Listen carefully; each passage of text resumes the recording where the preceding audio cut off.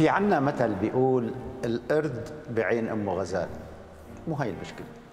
المشكلة إنه مشكلنا أمك يا عزيزي حتى نشوفها غزال. مشكلنا رح نبرر أخطائك ونغفر زلاتك أو نتحملك ونتحمل حتى غلظاتك الغريب إنه كل النسوان بتقول ربيت اولادي أحسن تربية. طب هالنمر اللي عم نشوفها أولاد مين هدول؟ أكيد كلهم غزلان بعيون أمهاتهم.